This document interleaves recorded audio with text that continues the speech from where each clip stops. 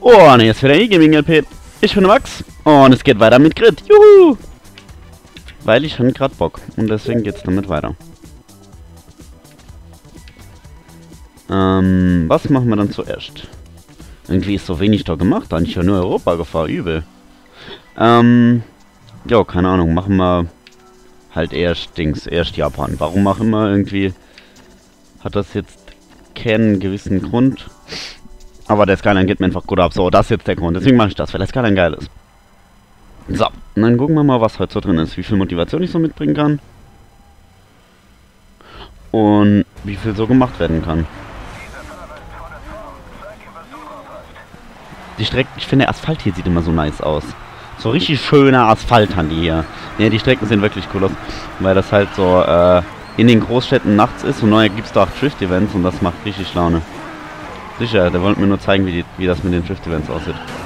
Alter Kerl! Meine Fresse. Der will das mal bestimmt so hinstellen, als wäre das meine Schuld gewesen, oder? Ah, ich starte den Dorfspaß lieber nochmal neu. So, und dann fahre ich dem Supra, der nicht von der Stelle kommt, einfach nicht hinten auf. Wie wäre das denn?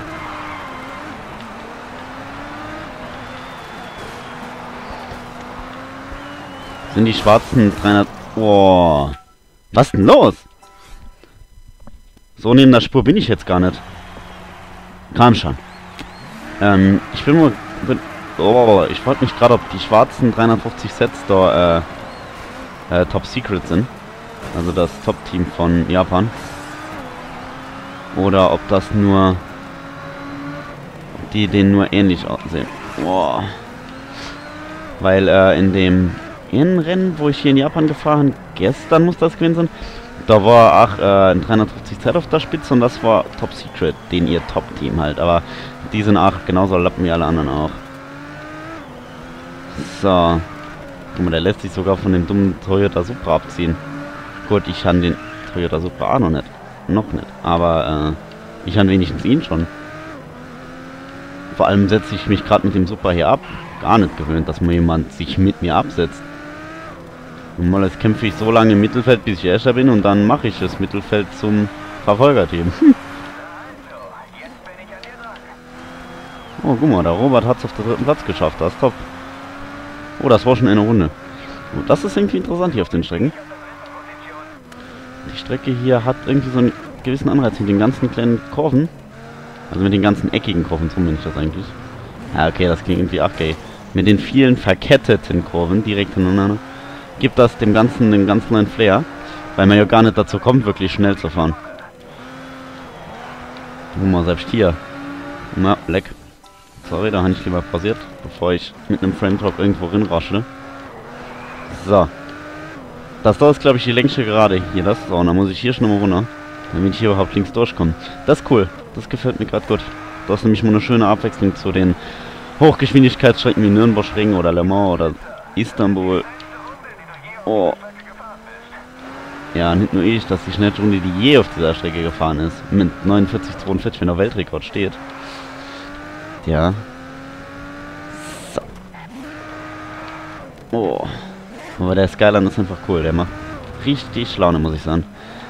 Er klebt so richtig schön hier überall dran. Lässt eigentlich wenig Möglichkeiten, überholt zu gehen. Und kommt dann noch super vom Fleck weg.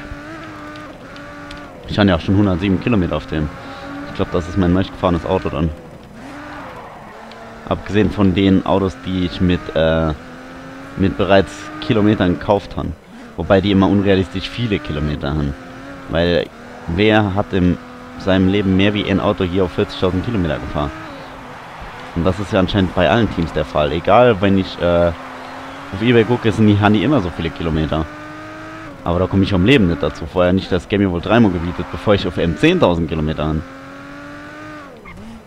Naja. Aber that's not of my business.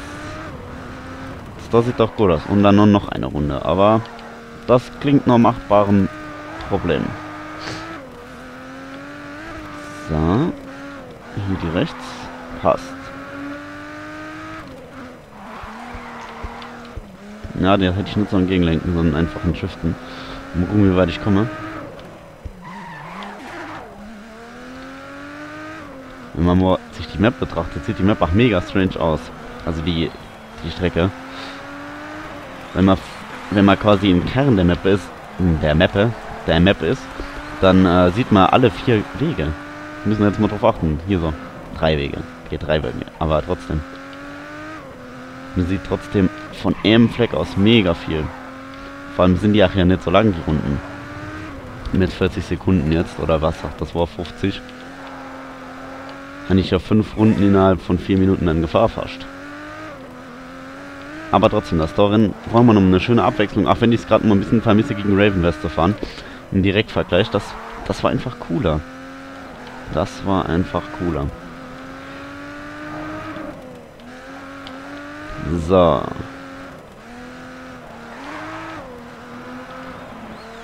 Genau. Jetzt hätte ich gerne geschaut, wo mein... Ja, am vierten Platz mein Teamkollege. Passt doch. Ist jetzt nicht so schlecht und nicht so gut. Weil wenn er zu gut wäre, könnte er ja auch mich besiegen. Und da wäre ich natürlich nicht so dafür. Zack, ich habe alle Sponsorenausgaben gekriegt. Ah, der Hauptsponsor mit seinem nicht Schaden machen, das ist schon was Cooles. Weil den kriegt er irgendwie oft noch. Ich krieg den, glaube ich, seltener wie er. Und äh, 70.000 sind einfach 70.000. Das sollte man nicht verkennen. So, erstmal sich auf die Map klarkommen. Ist das dieselbe Map nur rückwärts? Sehe ich das richtig? Sieht irgendwie schwer so aus. Ich kann es noch nicht 100% sagen, aber ich würde fast behaupten, es ist die gleiche Map rückwärts. Ja, ist es. Oh, oh.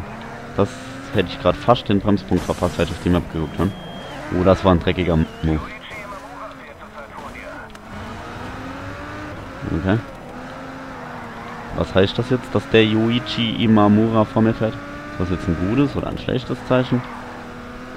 Woher kennt er überhaupt ihm seinen Namen? Ich will ihm seinen Namen nicht kennen. So, Außenlinie Drift und als Bestes wegbeschleunigen und tschüss. Das Manöver da war irgendwie mega lässig. Vor allem hatten die keine Chance, irgendwas dagegen zu machen. Weil ich mit dem Drift aus der Kurve viel besser rauskam wie die. Und die einfach wegbeschleunigt dann und kontaktfrei überholen konnte. Was ja die eigentliche Königsdisziplin ist, kontaktfrei zu überholen. Das schaffe ich ja nicht immer, das ich zu, aber dafür gewinne ich wenigstens immer. So. So, jetzt ist schon immer Wochenende hier. Ich habe noch eine Woche, da geht's nach Hause. Ja, relativ genau eine Woche. Morgen in einer Woche geht mein Zug Richtung Heimat. Ui. Ja, nichts passiert. Ja, bis dahin muss ich noch ein bisschen was machen. Ich habe noch drei Klausuren vor mir. Aber das sollte machbar sein. Da sollte ich einfach spätestens morgen anfangen zu lernen, dann schaffe ich das auch. Und ähm, ja, ansonsten gibt es eigentlich nichts Neues. Ist eigentlich im Moment alles schön stressfrei. Auch wenn ich jetzt noch nichts zum Mittag gestern. Ich mega Hunger habe. So wie ich immer mega Hunger habe. Muss ich gleich mal schauen. Aber ich glaube, ich habe noch was in meiner Brotdose von der Schule. Das finde ich auch lässig. Einfach was zu essen, was ich heute Morgen schon gemacht habe. Schön stressfrei wäre das.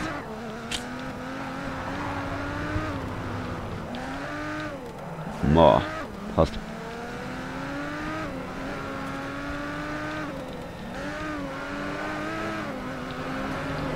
So.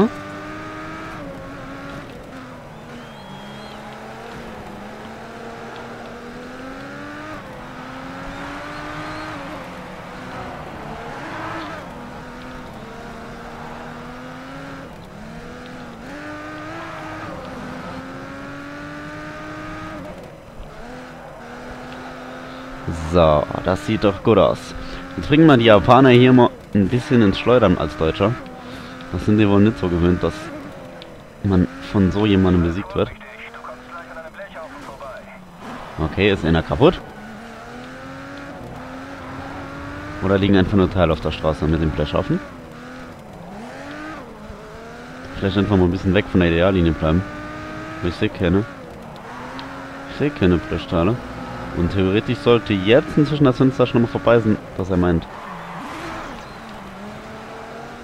Ja, okay, das war nicht so gut. Ich meine, sie sind die ganze Zeit in der Nähe, aber das liegt auch einfach daran, dass man in den engen Kurven schlechter Zeit rausfahren kann. Aber trotzdem kleben sie nicht wirklich an mir. Okay, der Supra hat sich jetzt nochmal abgesetzt. Aber das sieht trotzdem nicht so aus, als hätte er Chancen. Es hätte auch im Moment keine Chancen darauf, den zu überholen, aber er hat auch einfach keine Chance, mich zu überholen. In meinem schönen lila-grünen Skyline, der übrigens in den zwei Farben mega edel aussieht. Wobei die meisten Autos in, den, in der Farbkombination gar nicht nur schlecht aussehen, finde ich. So. Jetzt noch eine Kurve und dann war's das.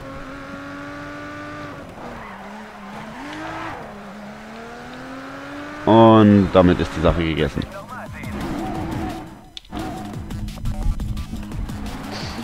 Oh, dritter ist er sogar noch geworden. Top. Top, Mann. Vor allem war der zweite ein Chinese. Witzig. Und die Teamwertung gewonnen. Einwandfrei. Ja, aber wie gesagt, ich bin nur mal außer Konkurrenzgefahr. Es war ja einfach wieder Kenner dabei. Oh, es gibt noch ein Rennen. Oh je.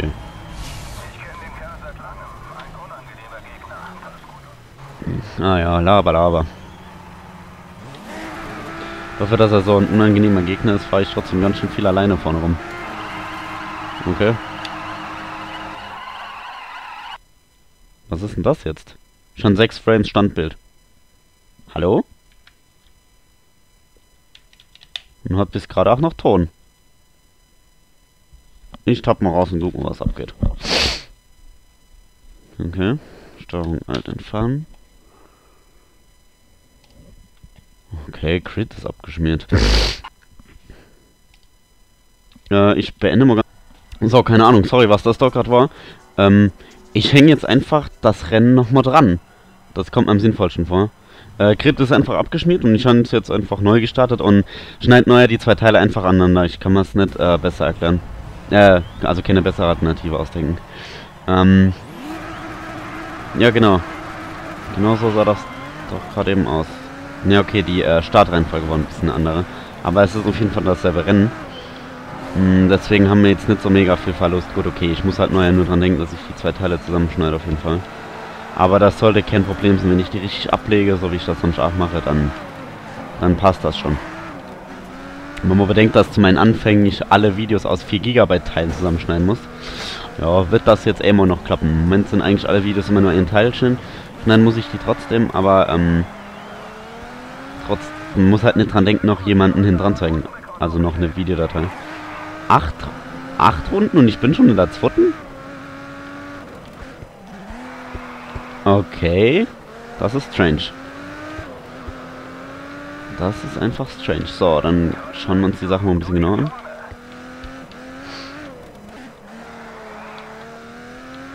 So, so rum. Ach, da kommt ja auch schon das Ziel hier. Hier hinter der Kurve ist direkt das Ziel. Ah, wie ich schon immer so außer Konkurrenz fahre. Es ist einfach ab und an noch langweilig, ich verstehe das nicht. Aber ich will nicht für den erhöhten Schwierigkeitsgrad auf die Rückblenden verzichten, weil ich kenne mich ja. Ich meine, ich mache immer mal Fehler zwischendurch und dafür brauche ich einfach die Rückblenden. Und ich werde jetzt auch sicher nicht auf Grid deswegen zu spielen, weil es mir einfach zu viel Spaß, wie die Autos sich verhalten. Das macht dann einfach Bock, wenn die Autos so richtig schön realistisch sich verhalten. Dann macht das Rennspiel einfach viel mehr Laune. So. Nur hier der Runde ist schon Halbzeit. Jo. Dann ist das das zweite LP-Feuer, wenn das das letzte Rennen ist, wovon ich aber eigentlich ausgehe. Weil ich glaube nicht, dass es ein, also mehrere Rennen gibt, die mehr wie drei Teilrennen haben. Das glaube ich ehrlich gesagt nicht. Muss die Sache auch irgendwann im Rahmen halten. Und ich muss mich so langsam mal zusammensparen für Euro A-Lizenz. Dass wir es vielleicht mal schaffen, da Prototypen oder so zu fahren. Das wäre nämlich mega nice. Aber versprechen kann ich natürlich nichts. Ich habe jetzt eh schon mega lange nicht mehr in die Sponsoren Ring geguckt, weil ich ja nur unten rumgefahren bin, also in der unteren Lizenz. Und äh, die bringen eh nichts. Die bezahlen ja nichts mit ihren 3000. Pff, kann ich mir das auch sparen. Der, Preis, der Preissprung in die zweite äh, Lizenz ist dann schon enorm. Und in, die, in der dritten Lizenz sind wir ja noch gar nicht gefahren. Deswegen gibt es da auf jeden Fall noch ein bisschen was zu sehen. So sieht's aus.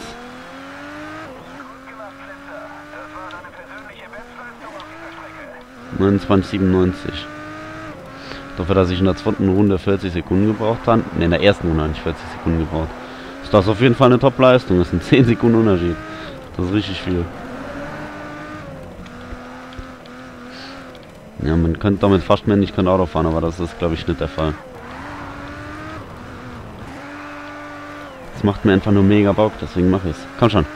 Ah, noch ein Weltrekord. Sehr gut. 27 Hundertstel unterboten. Aber da geht noch mehr. Ich bin das aus Trackmania gewohnt, dass man an den Zeiten so lang feilen kann, bis wirklich das absolut beste Ergebnis rauskommt. Und ähm, da gibt es halt mega viele Möglichkeiten. In Trackmania gab es so viele coole Sachen. Aber das kann man nicht miteinander vergleichen. Ne? Trackmania ist ein Arcade Racer, während das hier eine Simulation ist. Also, das ist halt schon der größte Unterschied.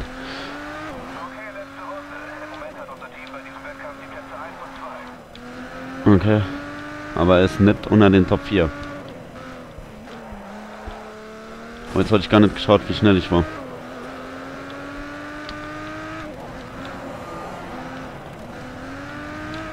So passt. Ja, so passt auch. Aber ich glaube, da geht keine bessere Zeit mit durch. Nee. Trotzdem, das war eigentlich eine gute Leistung. Solide. Oder dafür, dass mal vorher das Game abgeschmiert ist, weil sie dachten, ich wäre so scheiße, war das doch ganz okay. Was das jetzt damit? Bekomme ich damit Geld ausgeschüttet von meinen, äh, also nicht nur vom Sponsor, sondern gesamt einfach? Ja, das sieht gut aus bei mir. Mal gucken, was der Netwert so kriegt. Nur der Hauptsponsor. Ja. Nicht mehr lang und du hast deine J-Speed Super 2 Lizenz. Wir sollten in Japan weitermachen. Ja, dann bin ich auch auf der obersten. Äh.